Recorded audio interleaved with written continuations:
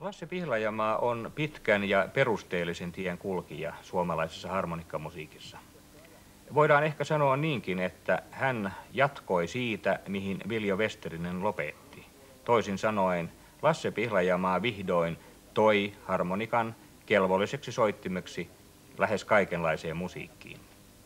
Ja Lasse todella osaa esittää kaiken, mitä hän tekee. Kysymys ei ole pelkästään ulkokohtaista soittamisesta. Jo 40-luvulla Suomen kansa sai kuulla Lassea kiertueella ja myös radion kautta. Ja myös aivan saman vuosikymmenen lopulta asti suomalaisia alkoivat sitten viihdyttää Pihlajamaan pelimannit, joita hyvin voidaan nykyhetkenä jo sanoa legendaarisiksi. Ja silloin jo Lassen asema solistina oli hyvin keskeinen.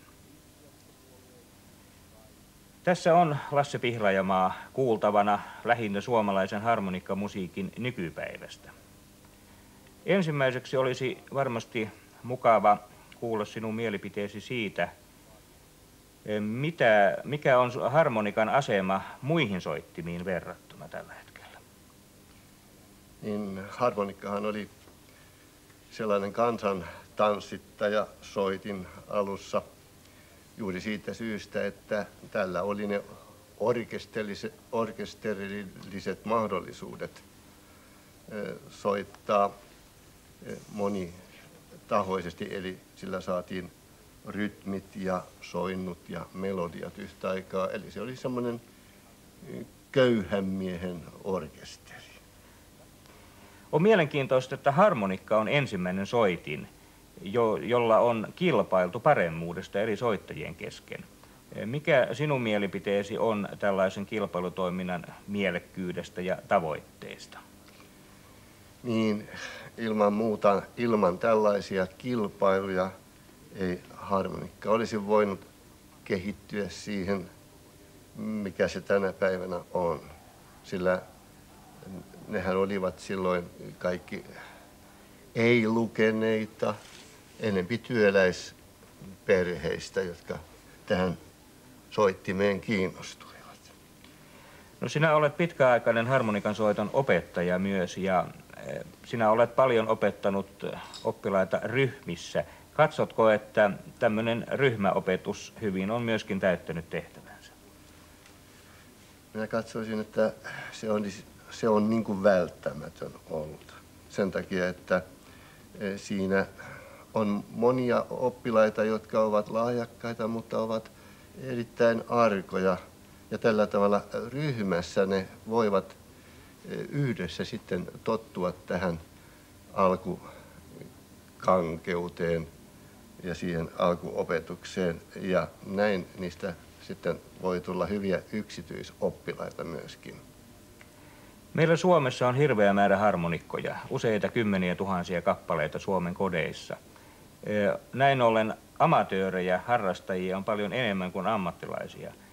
Onko näillä ryhmillä jotakin kissan hänen vetoa? Meneekö heidän toimintansa jollakin tavalla päällekkäin? Ei, ei minusta. Näitähän tarvitaan. Nehän ovat juuri tukemassa tämä suurempi eh, massa, tukemassa näitä lahjakkaita eteenpäin ja, ja sillä tavalla päästään ja saadaan näitä huippusolistia. Ei näillä minun mielestäni ole mitään skismaa, vaan tämä on myöskin mielestäni semmoinen välttämättömyys.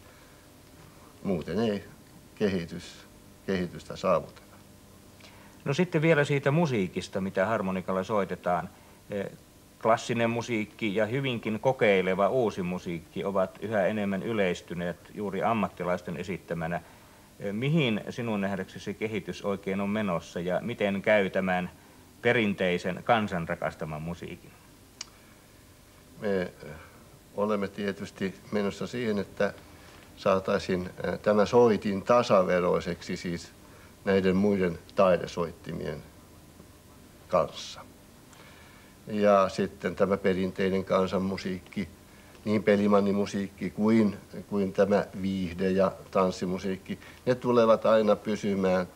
Kansa pitää siitä huolen.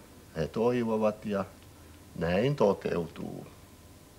Ja ihan lopuksi vielä, onko harmonikan soitossa jotakin sellaista, jota paraskaan opettaja ei pysty opettamaan? Kyllä mä luulen, että joka soittimessa on kyllä tämä, pätee tämä sama asia, että, että ei kaikkia ei voida kaikkiin opettaa. Tulee mieleeni juuri Westerinen tässä. Kyllä hän oli sellainen persoona ja hänellä oli sellaista, mitä ei siihen aikaan kukaan voinut opettaa, että kyllä se oli hänen sisäistä, sisäistä näkemystään. Ja olen sitä mieltä, että todella lahjoja täytyy olla harmonikassa myöskin niin kuin jokaisessa muissa soittimissa, kun se huippuun kehitetään. Lasse Pihlajamaalla ei tällä kertaa ole mukanaan harmonikkaa, mutta nyt siirrymme viime syksynä pidettyyn Suomen harmonikan soittajien liiton 30-vuotisjuhlakonserttiin. Siellä esiintyivät Pihlajamaan pelimannit ja Lassen lisäksi harmonikoissa olivat siellä Raimo Pihlajamaa ja Merja Ikkonen.